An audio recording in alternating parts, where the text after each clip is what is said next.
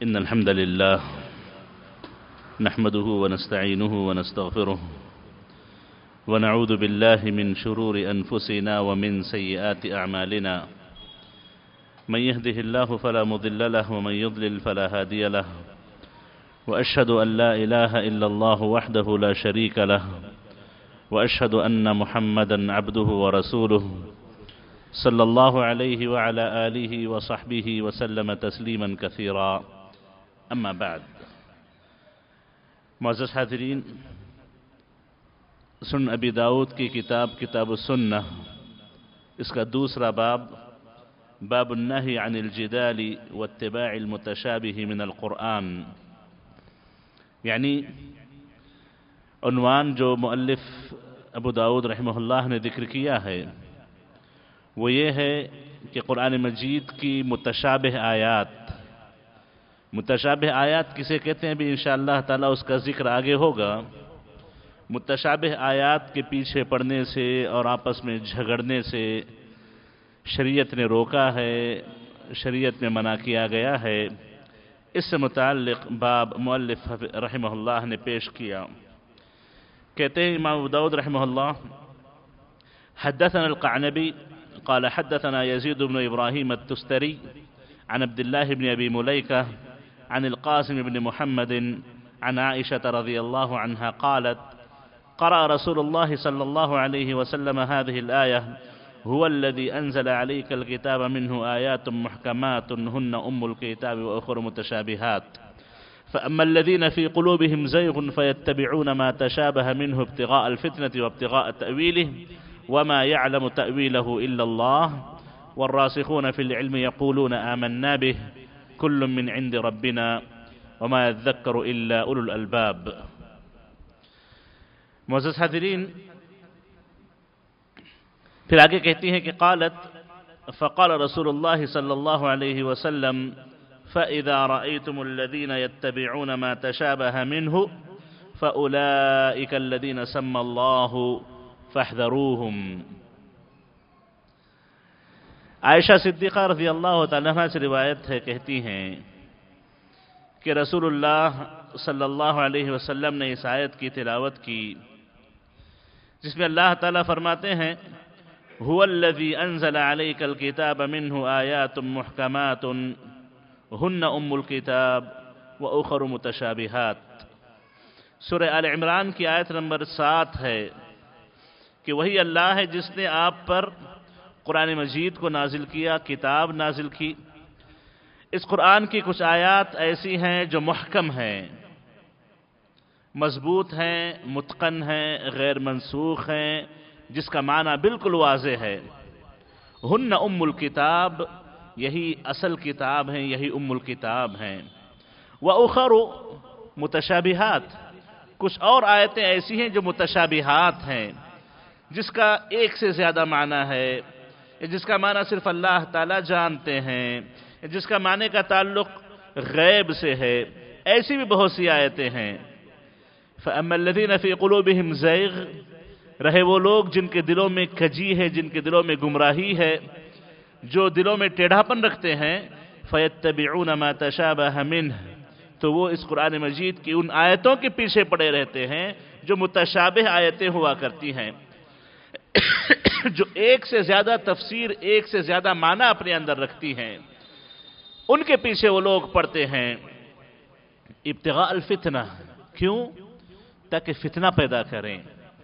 فتنہ پیدا کریں، اس لیے اس کے پیچھے پڑے رہتے ہیں۔ وَابْتِغَاءَ تَأْوِيلِهِ اور اس کی تعویل کو پانے کے لیے، اس کے معنی کو پہچاننے کی کوشش کرتے ہوئے اس واسطے اس کے پیچھے پڑے رہتے ہیں۔ وَمَا يَعْلَمُ تَأْوِيلَهُ إِلَّا اللَّهِ، جبکہ ایسی آیتیں، اس کا معنی، اس کا مطلب اس کی تفصیل سوى اللہ کے کوئی اور نہیں جانتا۔ والراسخون فی العلم یقولون آمنا به، جو علم میں ایک مقام کو پہنچے ہوئے ہوتے ہیں، رسوخ فی العلم جن کے پاس ہوتا ہے، وہ کہتے ہیں آمنا به۔ ہم کو اس قرآن پر ایمان ہے، اس کے محکم پر محکم پر ایمان ہے، محکم پر عمل ہے، متشابہ پر ایمان ہے۔ آمنا به ہم اس پر ایمان رکھتے ہیں۔ کل من عند ربنا۔ وہ کہتے ہیں کہ سب ہمارے رب کی طرف سے ہے۔ محکم بھی ہمارے رب کی طرف سے ہے، متشابہ بھی ہمارے رب کی طرف سے ہے۔ کہتے ہیں وہ لوگ، کل من عند ربنا۔ وما يذكر الا اولو الالباب۔ فرمایا اللہ تعالیٰ اس کے بعد کہ عقل مند ہی حقیقت میں نصیحت حاصل کر پاتے ہیں۔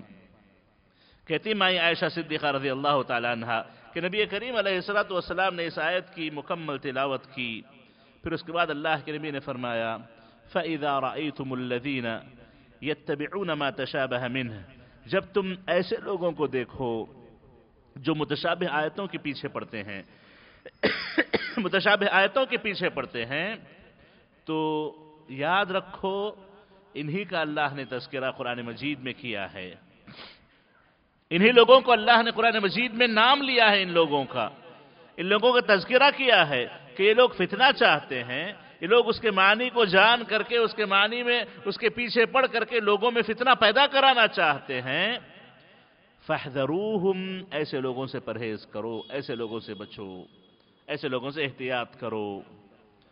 یہ حدیث ابو داود رحمہ اللہ نے صحیح صنعت سے بیان کی ہے، جس کو کئی علماء کرام نے صحیح قرار دیا، جن میں سے علامہ البانی رحمہ اللہ بھی ہیں، جنہوں نے اس حدیث کو صحیح گردانا ہے۔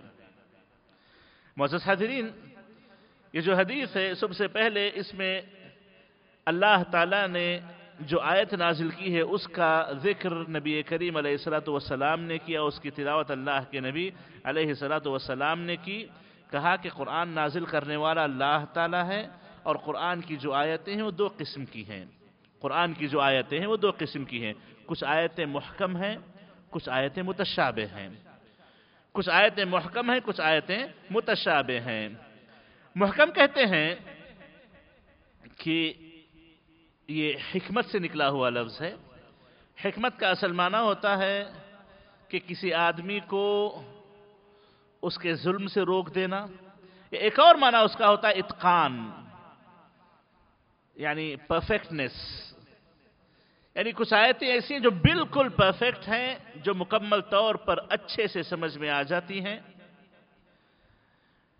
منہ آیت محکمات، اللہ نے کچھ آیتوں کو محکم رکھا ہے اور کچھ آیتیں متشابہ ہیں۔ متشابہ کہتے ہیں کہ بالکل ایک دوسرے سے ملتی جلتی، ایک دوسرے سے ملتی جلتی۔ یہ دو قسم کی آیتیں اللہ نے قرآن مجید میں ذکر کی ہیں۔ اور قرآن مجید کی اور آیتوں کو ہم دیکھیں تو ایک آیت میں اللہ نے فرمایا، الف لام را، کتاب احکمت آیاتہ، ثم فصلت ملت الحکیم خبیر۔ کہ ایسا قرآن ہے یہ ایسی کتاب ہے کہ جس کی آیتوں کو اللہ تعالیٰ نے بالکل مکمل کیا ہے، بہترین انداز میں اللہ نے اس کو نازل کیا ہے، جس میں کوئی کمی نہیں ہے، کوئی اشتباہ نہیں ہے، کوئی ہیر پھیر نہیں ہے، بالکل واضح اور صاف آیتیں ہیں۔ تو اس آیت میں اللہ نے قرآن مجید کی تمام آیتوں کو محکم قرار دیا ہے۔ قرآن مجید کی تمام آیتیں محکم ہیں۔ ایک اعتبار سے ہم دیکھیں، قرآن مجید کی ہر آیت محکم ہے۔ قرآن مجید کی ہر آیت محکم ہے۔ اس کا معنی کیا ہے؟ کہتے ہیں اس کا معنی بیان کرتے ہوئے امام سعدی رحمہ اللہ کہ اتقنت و احسنت صادقتا اخبارها، عادلتا اوامرها ونواهيها فصيحة الفاظها بهية معانيها قرآن مجید کی تمام آیتیں محکم ہیں۔ اس کا معنی یہ ہے کہ اس میں جو بھی خبریں بیان کی گئی وہ بالکل سچی خبریں ہیں۔ اس میں جو بھی احکامات دیے گئے ہیں، جن چیزوں سے روکا گیا ہے، وہ بالکل انصاف پر مبنی ہیں۔ بالکل انصاف پر مبنی ہے اس کے الفاظ بالکل واضح ہیں، اس کے معانی بالکل روشن ہیں۔ اس اعتبار سے قرآن مجید کی کوئی بھی آیت اس کے خلاف نہیں ہے۔ متشابہ آیات بھی ہوں، محکم آیات بھی ہوں، سب کے سب محکم ہے سب کے سب متقن ہے سب کے سب سب سے بہترین معنی اپنے اندر رکھتی ہیں۔ ایک اعتبار سے قرآن مکمل کتاب محکم ہے۔ اور ایک اور آیت ہے جس میں اللہ نے فرمایا، اللہ نزل احسن الحدیث کتابا متشابہا. اللہ تعالیٰ نے یہ جو کتاب نازل کی ہے، یہ سب سے بہترین کلام ہے۔ سب سے بہترین کتاب ہے۔ سب سے بہترین اللہ کی طرف سے بات چیت ہے، اللہ کی طرف سے کلام ہے۔ کتاب متشابہ یہ متشابہ کتاب ہے۔ ایک اعتبار سے اس آیت میں اللہ نے مکمل قرآن کو متشابہ قرار دیا ہے۔ جو آیت میں نے آپ کے سامنے پڑھی، اس میں اللہ نے کیا کہا؟ قرآن مجید کی کچھ آیتیں محکم ہیں، کچھ آیتیں متشابہ ہیں۔ یہ ایک ہوا۔ اب یہاں پر اللہ تعالیٰ نے، قرآن مجید میں فرمایا کہ قرآن مجید کی تمام آیتیں محکم ہیں۔ اس کا معنی کیا ہوا؟ کہ اپنی خبر کے اعتبار سے سچی ہیں، اس کے احکام بالکل انصاف پر مبنی ہے اس کے الفاظ بالکل واضح ہیں، اس کے معنی بالکل صاف ہیں، اس اعتبار سے قرآن مکمل محکم ہے۔ اور اس آیت میں اللہ نے کیا کہا؟ اللہ نزل احسن حدیث کتاب متشابہ یعنی قرآن مجید کو اللہ نے بہترین کلام کی شکل میں نازل کیا، جو متشابہ کتاب ہے، اس کی تفسیر میں معالم التنزیل میں بغوی لکھتے ہیں کہ متشابہن فی حسنہ۔ حيث جعل الله القرآن كله محكما أراد أن الكل حق ليس فيه عبث ولا هزل وحيث جعل كل متشابها أراد أن بعضه يشبه بعضا في الحق والصدق وفي الحسن. يعني قرآن إتنا حسين ہے قرآن إتنا سچا ہے قرآن کی آیتیں اتنی صاف ہیں اتنی سچی ہیں کہ ہر آیت ایک دوسرے کے متشابہ ہے ہر آیت ایک دوسرے کے جیسے حسن میں خوبصورتی میں کلام کے متانت میں کلام کے محکم ہونے میں ایک دوسرے کے متشابہ ہیں۔ سچائی میں ہر آیت دوسرے کی متشابہ ایک دوسرے کی جیسی ہے، یا پھر اسی طریقے سے ہر آیت ایک دوسرے کے متشابہ، ایک دوسرے کے معنی کو مکمل کرنے والی، ایک دوسرے کے معنی کو بیان کرنے والی آیت ہے، تو اس اعتبار سے مکمل قرآن متشابہ ہے یعنی اس کی آیتیں ملتی جلتی ہیں، اس میں آپس میں کوئی اعتراض نہیں ہے۔ اس کی آیتیں ایک دوسرے کے معنی کو مکمل کرنے والی ہیں، ان کی آیتوں کے درمیان کوئی کانٹریڈکشن نہیں ہے، کوئی اعتراض، کوئی تناقض نہیں ہے، کوئی آپس میں معارضہ نہیں ہے، یہ آیتیں ایک دوسرے کے معنی کو اور واضح کرنے والی ہے تو اس اعتبار سے قرآن مکمل متشابہ ہے۔ متشابہ یعنی آیتیں ایک دوسرے سے ملتی جلتی آیتیں ہیں، ایک دوسرے کو تصدیق کرنے والی، ایک دوسرے کو واضح کرنے والی آیتیں۔ اس اعتبار سے قرآن مجید مکمل محکم بھی ہے، قرآن مجید ایک اعتبار سے مکمل متشابہ بھی ہے۔ لیکن جو اللہ کے نبی نے آیت کی تلاوت سورہ آل عمران کی آیت نمبر سات کی کی ہے، وہ کچھ اور ہمیں بتانا چاہتی ہے۔ وہ آیت کچھ اور ہمیں معنی دینا چاہتی ہے۔ وہ آیت ہمیں یہ بتانا چاہتی ہے، اللہ تعالیٰ اس میں ہمیں یہ بتا رہے ہیں کہ دیکھو قرآن مجید کی جو آیتیں ہیں، کچھ آیتیں ایسی ہیں جو محکم ہے جس کا معنی بالکل واضح ہے۔ ہر ایک کو آسانی سے سمجھ میں آ جاتا ہے۔ کچھ آیتیں ایسی ہیں جو متشابہ آیات ہیں۔ اب کون سی آیتیں متشابہ ہیں؟ کس کو محکم کہا جائے؟ کس کو متشابہ کہا جائے؟ اس کے تعلق سے علماء کے مختلف اقوال ہیں۔ دو تین اقوال میں آپ کے سامنے ذکر کر دیتا ہوں۔ دیکھیے، محکم کہتے ہیں عرف معناه المراد به۔ محکم آیتیں وہ آیتیں ہوتی ہیں جس کا معنی بھی واضح ہے، جس کا مطلب بھی واضح ہے۔ متشابہ آیتیں وہ آیتیں ہیں کہ جن کا، جن کے الفاظ تو واضح ہیں، جن کا معنی تو واضح ہے، لیکن اس کا علم، اس کی تفسیر اللہ نے اپنے پاس رکھی ہے۔ جیسے قیامت کب قائم ہوگی؟ اس کا علم اللہ تعالیٰ کے پاس ہے۔ جیسے دجال نکل کے آئے گا، کب کیسے آئے گا؟ اس کی تفصیلات اللہ تعالیٰ کے پاس ہے اور اسی طریقے سے کچھ اور چیزیں جو اللہ نے اپنے پاس علم میں رکھی ہیں، یہ متشابہ ہیں، باقی آیتیں محکم ہیں۔ ایک معنی یہ ہے۔ ایک اور قول علماء کا یہ ہے کہ محکم آیتیں ان آیتوں کو کہتے ہیں کہ جس آیت کا صرف ایک معنی نکلتا ہے۔ جس آیت کا صرف ایک معنی نکلے وہ محکم ہے۔ اور جو آیتیں ایک سے زیادہ معنی اپنے اندر رکھتی ہیں، وہ متشابہ آیات ہیں۔ یہ ایک اور قول ہے جو علماء اکرام نے پیش کیا محکم متشابہ میں۔ محکم ایک معنی والی آیتیں، متشابہ ایک سے زیادہ اپنے اندر معنی رکھنے والی آیات۔ ایک اور قول یہ ہے، محکم آیات ان کو کہا جاتا ہے کہ جن آیتوں کے پڑھنے سے معنی مطلب مکمل سمجھ میں آ جاتا ہے، کسی اور وضاحت کی ضرورت نہیں پڑتی آپ کو۔ اور متشابہ آیتیں وہ ہوتی ہیں کہ جس آیت کے پڑھنے کے بعد آپ کو مزید تفسیر کی ضرورت پڑتی ہے کہ دیکھیں اس کا مطلب کیا ہے، علماء نے کیا کہا ہے، اس کی کیا تفسیر کی ہے۔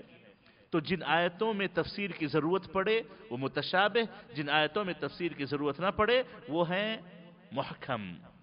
ایک اور قول یہ ہے کہ محکم آیتیں وہ ہوتی ہیں جو ناسخ آیات ہیں، متشابہ وہ ہوتی ہیں جو منسوخ آیات ہیں۔ تو اس طریقے سے مختلف اقوال ہیں، مختلف اقوال ہیں جو علماء اکرام نے ذکر کیا ہے، اس کا خلاصہ یہی ہے کہ محکم آیات وہ آیتیں ہوتی ہیں جن کا معنی بالکل واضح ہے مطلب بالکل واضح ہے، جس کے بعد انسان کو کسی مزید علماء کے پاس جا کر پوچھنے کی ضرورت محسوس نہیں ہوتی۔ متشابہ آیات وہ ہوتی ہیں جو ایک سے زیادہ معنی اپنے اندر رکھتی ہیں۔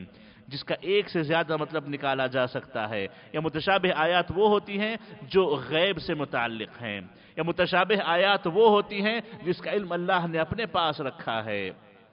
یہ متشابہ آیات ہوئی اب اللہ کے نبی علیہ السلاۃ والسلام نے اس آیت کو مکمل طور پر تلاوت کرنے کے بعد جو بات کہی، اللہ کے نبی علیہ السلاۃ والسلام نے فرمایا کہ دیکھو، جب تم ایسے لوگوں کو دیکھو جو متشابہ آیات کے پیچھے پڑتے ہیں اور وہ چاہتے ہیں کہ لوگوں میں فتنہ پیدا کریں، وہ چاہتے ہیں کہ لوگوں میں جھگڑے لگائیں۔ تو نبی کریم علیہ السلاۃ والسلام نے فرمایا کہ ایسے لوگوں سے بچنے کی کوشش کرو، ایسے لوگوں سے بچو، کیونکہ یہی لوگ وہ ہیں جو لوگوں میں فتنہ ڈالنا چاہتے ہیں، لوگوں کو قرآن سے برگشتہ کرنا چاہتے ہیں، قرآن سے، قرآن کے تعلق سے لوگوں کے دلوں میں شکوک و شبہات پیدا کرنا چاہتے ہیں ڈاؤٹس کریٹ کرنا چاہتے ہیں۔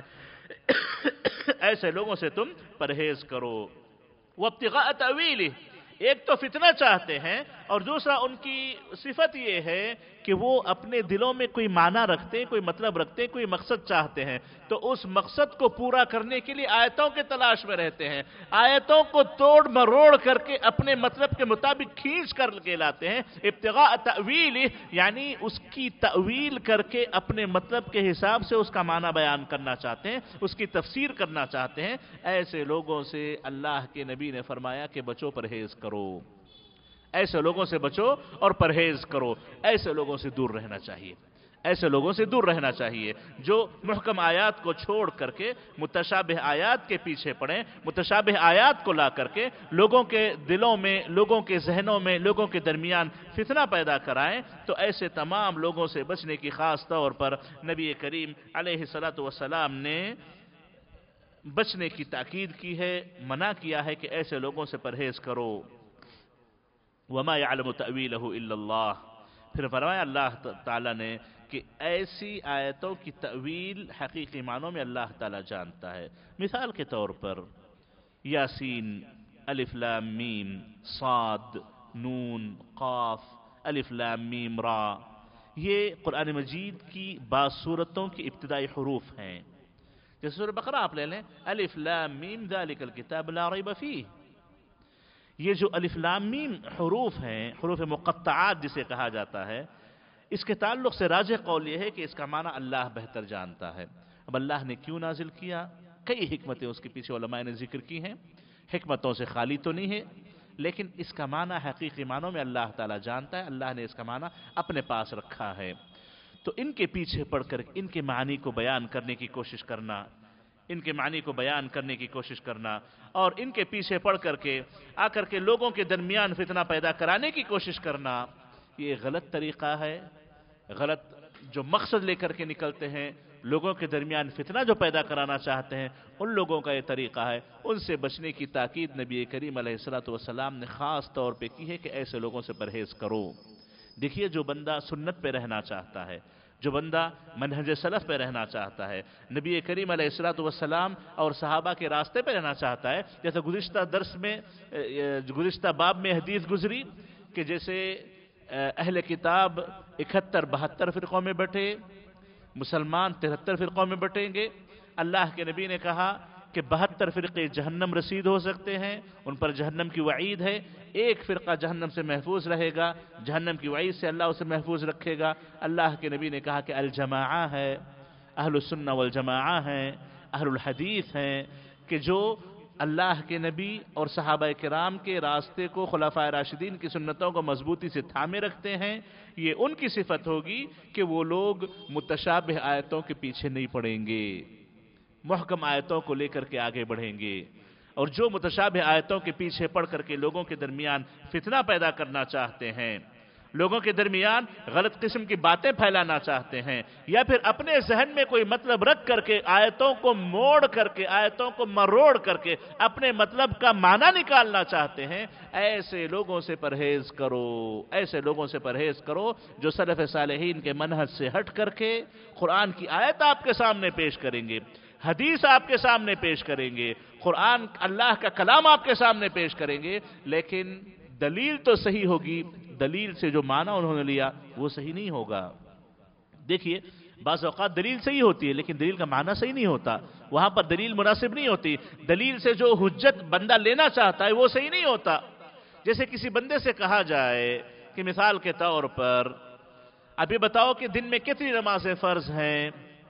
تو قرآن کی آیت لائے، آ کر کہنے لگے کہ ان کانت المؤمن کتاب موقوتا، اللہ نے نماز کو ایک مقررہ وقت میں فرض کر کے رکھا ہے مومنوں پر۔ آیت صحیح ہے، دلیل صحیح ہے، لیکن دلیل سے جو مطلب نکالا جانا چاہیے، وہ صحیح نہیں ہے، اپنی جگہ پہ نہیں ہے۔ اس سے وہ مطلب نہیں نکال سکتے کہ پانچ نمازیں فرض کی گئی ہیں وغیرہ۔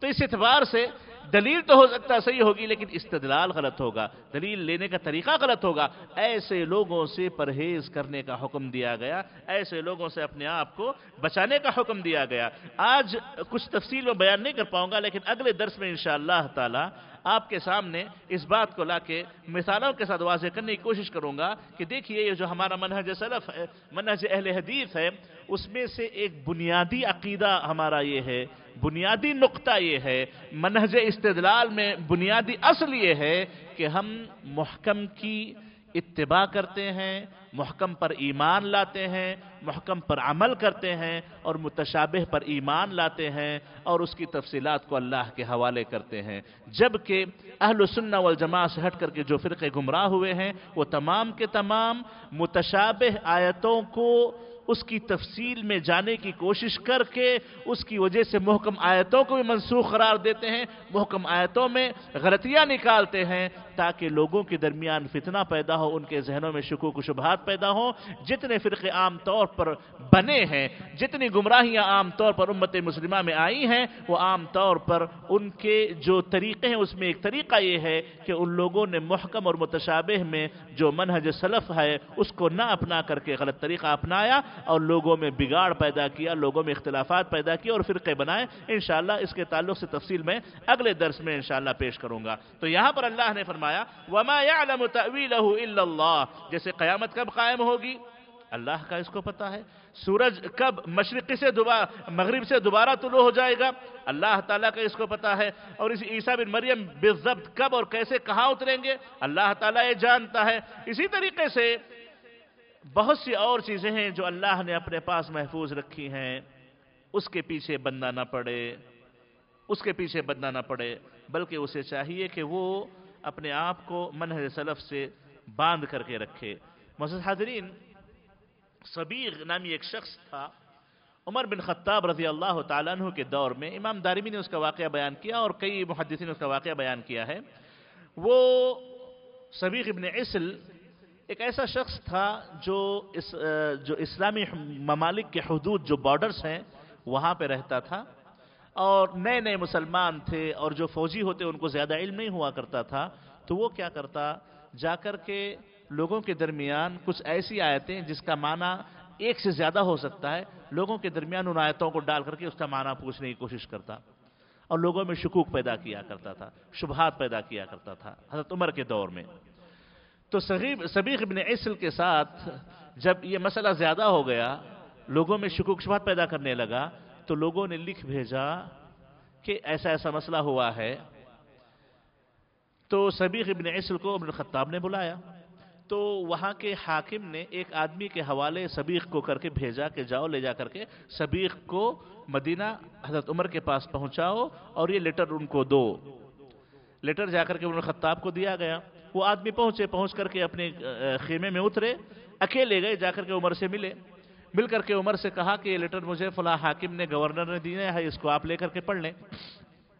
تو عمر نے جیسے یہ خط پڑھا، پوچھا وہ کہاں ہے؟ کہاں ہے وہ شخص؟ تو انہوں نے کہا کہ وہ وہاں پہ خیمے میں ہے۔ بولے، جاؤ اسے لے کے آؤ۔ اگر وہ نہیں ملا، تم کو پاروں میں پکڑ کے۔ اگر وہ نہیں ملا، میں تم کو ماروں گا پکڑ کے۔ جاؤ پہلے اسے لے کے آؤ۔ تو گئے وہ موجود تھا، جا کے لے کے آئے۔ سبیق کو بلایا۔ عمر بل خطاب نے کچھ بات نہ کی۔ کھجور کی درخت میں جو کھجور لگتے ہیں، ایک ساتھ ایک خوشی میں کئی کھجور لگتے ہیں۔ وہ منگایا، منگا کر کے اس کا سر مڑایا، سر پہ مارنے لگے۔ بہت مارنے لگے۔ یہاں تک کہ وہ پریشان ہو گیا۔ خون نکلنے لگا اسے۔ بولا، جاؤ واپس۔ واپس چلا گیا۔ دوسرے دن دوبارہ اسے بلایا۔ دوبارہ اسے بلایا۔ بلا کر کے پھر دوبارہ وہی کام اس کے ساتھ کیا۔ مارنے لگے۔ خوب مارنے لگے۔ پھر بولے جاؤ واپس۔ واپس چلا گیا۔ تیسرے دن پھر اسے بلایا۔ پھر وہی کرنے لگے۔ بولا نہیں، میرا دماغ ٹھکانے آ چکا ہے۔ میرا دماغ ٹھکانے آ چکا ہے۔ تو کہتے ہیں، عمر بن خطاب نے کہا کہ جاؤ اپنے گاؤں واپس چلے جاؤ۔ وہاں کے حاکم کو لکھ بھیجا کہ اس کو تم ایسے رکھو کہ کوئی اس سے ملے گا نہیں۔ کوئی اس سے بات نہیں کرے گا۔ اور یہ کسی سے بات نہیں کرے گا۔ یہ سزا دے کر کے اسے بھیجی، جب جا کر کے اس کی حالت سدھری۔ یہ وہ لوگ ہیں جو متشابہ آیات کو لے کر کے لوگوں میں فتنہ ڈالنا چاہتے ہیں، لوگوں کے ذہنوں کو خراب کرنا چاہتے ہیں۔ جن کا ایمان ابھی نیا نیا ہے، ان کے ایمان کو ہلانا چاہتے ہیں، ان کے ایمان کو کمزور کرنا چاہتے ہیں۔ تو عمر بن خطاب رضی اللہ تعالیٰ عنہ، جن کا درہ مشہور تھا، درہ مطلب ان کے پاس ایک چھوٹی سی لکڑی تھی، چھڑی تھی جو لے کر کے اسلام دشمنوں پر پل پڑتے بدتیوں پر پل پڑتے تھے، ان کو مارتے تھے، ڈراتے تھے، بلکہ بعض صحابہ پر تک ہاتھ اٹھا لیا کرتے تھے وقت ضرورت۔ عمر بن خطاب رضی اللہ تعالیٰ عنہ، اس کا ڈر اتنا زیادہ ان کو تھا، علماء لکھتے ہیں کہ لوگوں پر حجاز کی تلوار سے کہیں زیادہ اثر عمر کے درے کا تھا، عمر کی لکڑی کا تھا۔ یہ تھے عمر بن خطاب رضی اللہ تعالیٰ عنہ۔ انہوں نے ایسے علاج کیا۔ تو ایسے لوگوں کے تعلق سے نبی کریم علیہ السلام نے کہا اولئک الذین سمہم اللہ فحضروہم اللہ نے ایسے لوگوں کا نام لے کر کے کہا ہے کہ لوگ لوگوں میں فتنہ پیدا کرنا چاہتے ہیں، اپنے مطلب کی تفسیر کرنا چاہتے ہیں، اپنے مطلب کا معنی نکالنا چاہتے ہیں۔ ان سے پرہیز کرو، ان سے بچو۔ تو معزز حاضرین ہمارے اپنے معاشرے میں بہت سے مسائل ایسے ہیں کہ ہم نے منہج سلف کو ایک طرف دیکھا ہے، ان سب سے ہٹ کے ایک نیا مسئلہ پیش کرنا چاہتے ہیں، ایک نئی چیز لانا چاہتے ہیں۔ آیتیں لا کر دلیل کے طور پیش کریں گے، حدیثیں لا کر دلیل کے طور پیش کریں گے۔ ایسے لوگوں سے پرہیز کریں، ایسے لوگوں سے بچیں۔ فحضروہم یہ اللہ کے نبی کی نصیحت ہے۔ یہ اللہ کے نبی کی نصیحت ہے اولئک الذین سم اللہ فاحذروہم، اللہ نے انہی کا نام لے کر کے یہاں پر ان کو ذکر کیا ہے۔ جبکہ راسخون فی العلم کیا کہتے ہیں؟ وہ یہ کہتے ہیں، یقولون آمنا به کہتے ہیں، محکم ہو، متشابہ ہو، ناسخ ہو، منسوخ ہو، معنی ہمیں سمجھ میں آئے، معنی سمجھ میں نہ آئے، سب ہمارے اللہ کی طرف سے ہے۔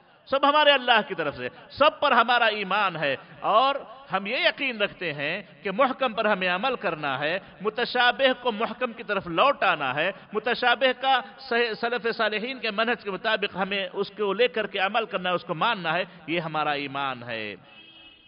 کل من عند ربنا۔